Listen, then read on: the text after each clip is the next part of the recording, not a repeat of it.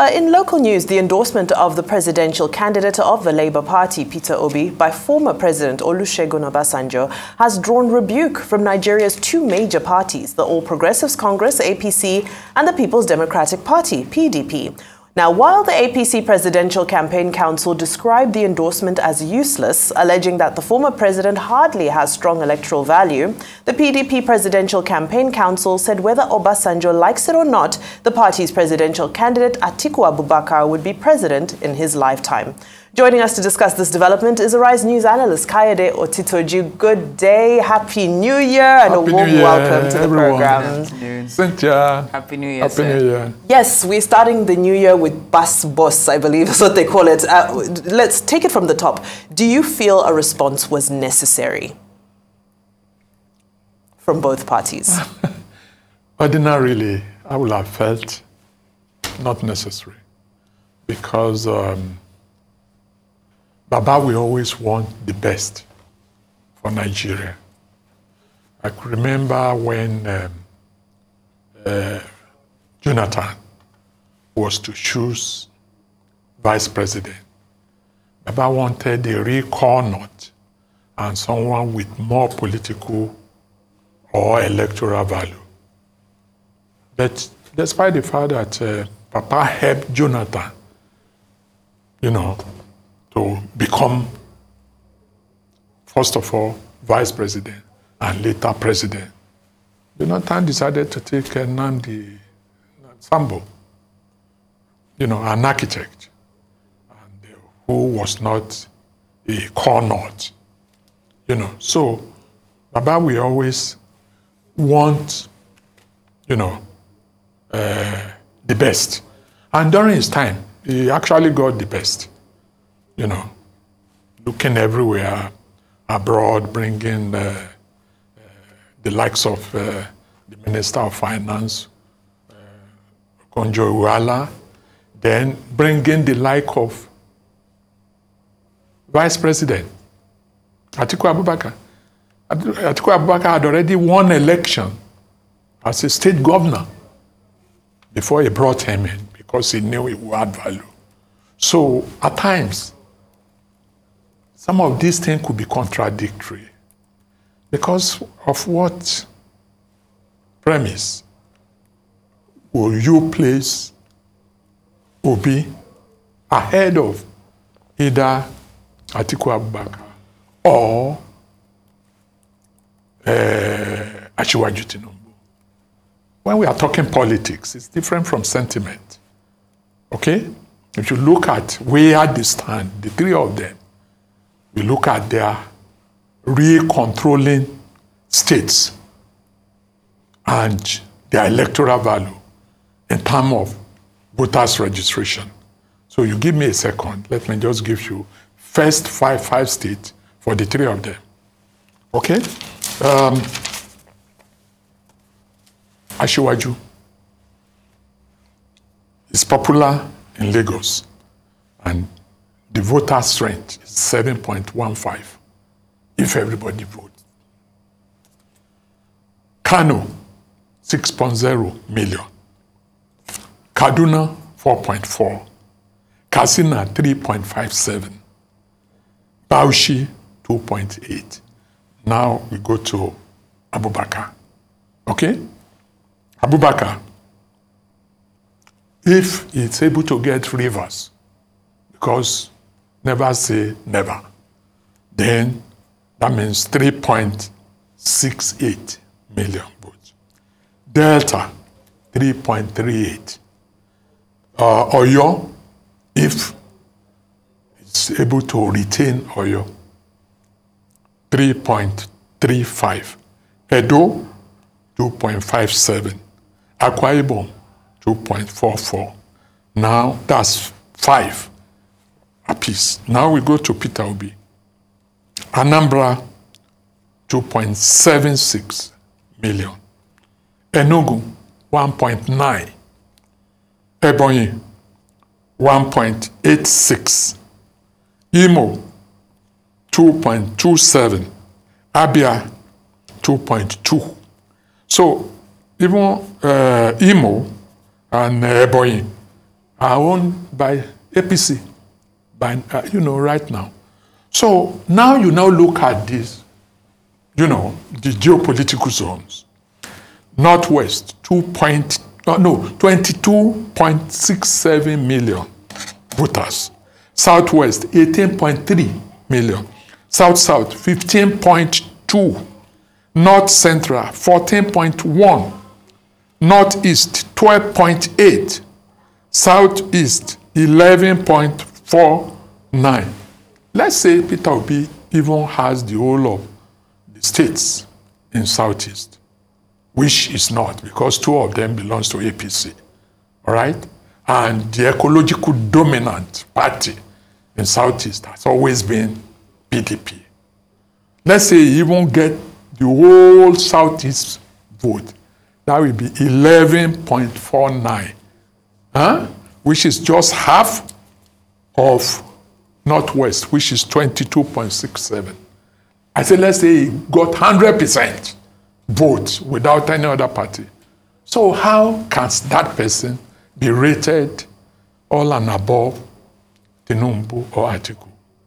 So I'm using, because some of this thing is science and fact, not sentiment, okay?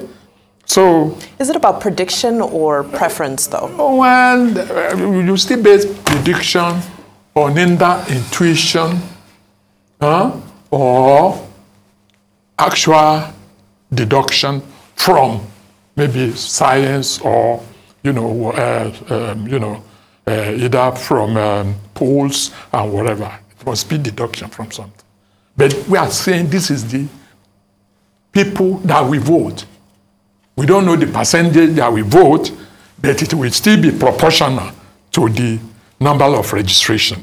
So now Papa said uh, it's a needle that has a thread. Where are the thread? Okay? The people that you constitute the thread are the big, big people in that zone. And who are they?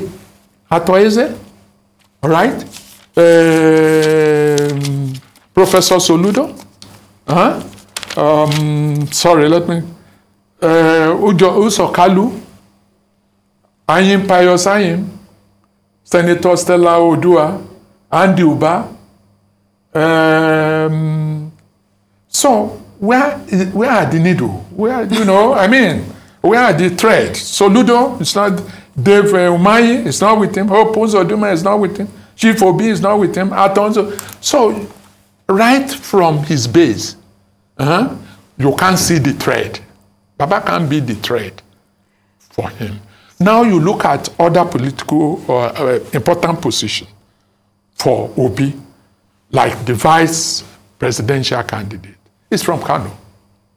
He can't, he can't compete with, uh, with the governor there or um, uh, Kwankwaso. Okay? That's that. Then you now go to the uh, director general of the campaign. What, who are the trade there?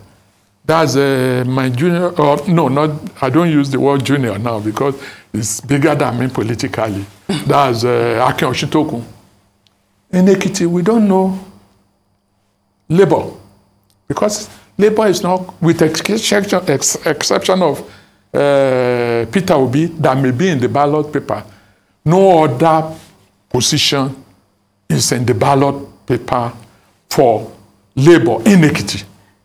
So, so when, when you are to choose someone like your director general, it will have been someone from where you will get more votes, maybe like Northeast, where everybody tend to, you know, uh, gravitate to. Not a place where you can win cumulatively, where you can win 100 votes. So you don't. It's, it's not strategic enough. And all this put together doesn't give my own opinion. And I'm so close to Baba, I shouldn't be criticizing him. Very close. I'm his son. Okay? But on this, it wasn't based on reality. Well, Mr. Tuju, since we're focusing on the reactions of, you know, APC and PDP, we know they took different approaches, but we're saying more or less the same thing.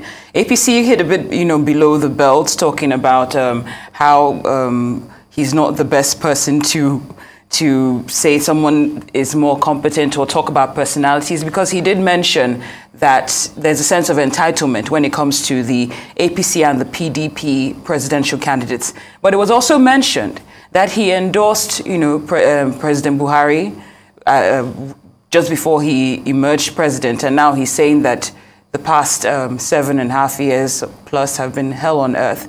And then on PDP's side, they're saying that it's because he's always wanted someone from the southeast. I'm just wondering what you're taking from the reactions. I know you understand, or you've already laid out the facts in terms of what you've read out for us, but what do you think of the approach and the facts that were listed in this case? Can we really trust this endorsement, seeing that he endorsed President Buhari a while ago, and you now see, he's I saying didn't that want it's... to. I didn't want to base my reaction Mm-hmm. on what the spokesperson of those two parties eh, are saying, because most of them they they move from the antagonistic, you know, side, and when they are explaining something that ought to be factual and be convincing, you know, using convincing parameters. That was why I chose my own path, not their own. And some of them may even resort to abusing Baba. You know, they may, you know, all is acceptable in politics. But I'm saying that actually, no, no magic can change what is already. We are talking of within two months. In two months' time, this thing will have been decided. And when you talk of the youth, when people are saying, okay, youth should uh, be wooed, the youth already know where they are going. And who are the youth? The youth are already absorbed in all the political parties. Okay? In uh, places like uh, PDP, you have uh, Tolu Ogunlese, is already special assistant at presidency under a party. We already have uh, Olusanya, what's the name of the young lady in uh, Lagos State, who is the commissioner for Agric. He already knows that actually is in APC. Do you get my point? And these are youth. The youth that are really serious about politics, they have, okay, what of uh, the musician who is going for House of Rep? Banky W. Banky W. He's, a, he's not up to 40. He has already taken the party that will get him to where he's going.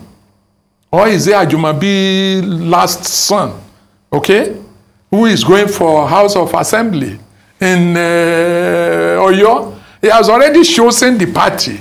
So when people are saying the youth think wise, the youth are thinking wise and they know where they are going. Nobody wants to fish in, uh, in, uh, in, a, in, in an ocean when you can just pick your distance and straight drop your hook and straight to the fish. So this is it. Um, forget it. If the and even the people working with Obi, my friend, my friend, and I can say it with all conviction, Professor Patu told me, he can't say he's much of a politician, someone that was contesting, and because he doesn't, he didn't have structure on ground on the day of election, none of the young ones could say, "Oh God, we are already where we are voting." Will come. They have finished voting before he started looking for polling booth. So, and these are the real Baba Isale for Obi. I mean, let's face reality. So, Mr. Otitoju, so, so why, yeah. sorry to interject, so why do you feel that uh, when the APC responds to this uh, six-page letter, when the PDP responds, why do you feel they can't spell out some of the things you have just so eloquently put forward to us here in this conversation, and they would rather insult a former head of state and call him useless and call him all sorts of names? What, why is that where our discourse has gotten to in Nigerian politics on the eve of a some, huge election? Some of these things depends on upbringing, political upbringing, not home upbringing. If you are brought up to fight and you are brought in as attack dog, you must do your job. And no respect for age, no respect for uh, constituted authority. Yours is just to attack. And that's why I'm not taking their own, you know, side to analyze the position. I'm analyzing based on fact and figures and what, even when you don't base it on figure, when you base it on perception, okay, this is how it is. Yeah. Well, thank you so much. Um, Arise News analyst, Mr. Kayode Otitoju, thank you for joining us and thank you for your analysis. We appreciate your time as always.